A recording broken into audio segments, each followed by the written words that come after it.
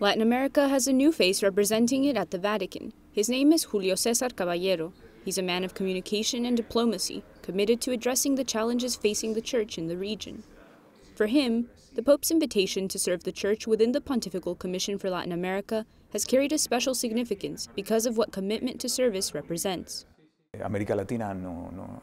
Latin America is not in the greatest conditions. It's been hit not only by the pandemic and its consequences, but in the last years it has been experiencing an aggravation of situations that have put it at an obsolete disadvantage in front of a pandemic like the one the whole world is now facing.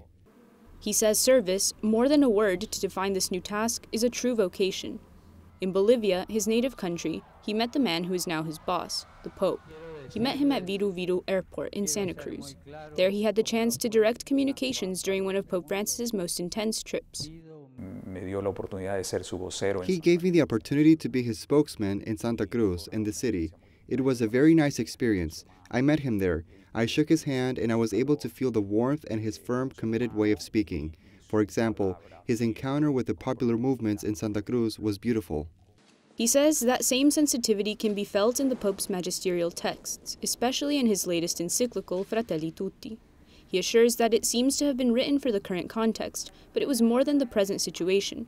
His message of fraternity, social friendship, and closeness is a call to rethink paradigms as citizens of the world. He describes Pope Francis as the living expression of the Second Vatican Council. He was a bishop of Latin America from those existential peripheries, which end up being so important, as what was once the periphery is now the center. Caballero, also former ambassador of Bolivia to the Holy See, believes that if the Church has a pope from Latin America, then Latin America must make itself loudly heard with its truths and experiences.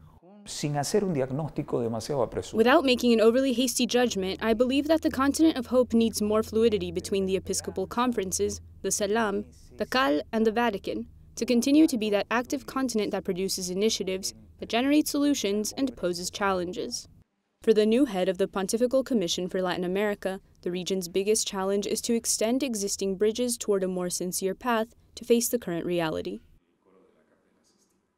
Looking for the perfect Christmas gift? Your search is over. Wish your family and friends a Merry Christmas all the way from Rome with Rome Reports Premium. This app gives you exclusive access to all events, art, and culture inside the Vatican, including sneak peeks into the Pope's life and much more. If you want to be informed this holiday season, this is the perfect gift. Gift someone with Rome Reports Premium and celebrate this holiday season by exploring the Vatican Unseen with exclusive content, new documentaries, and the latest videos.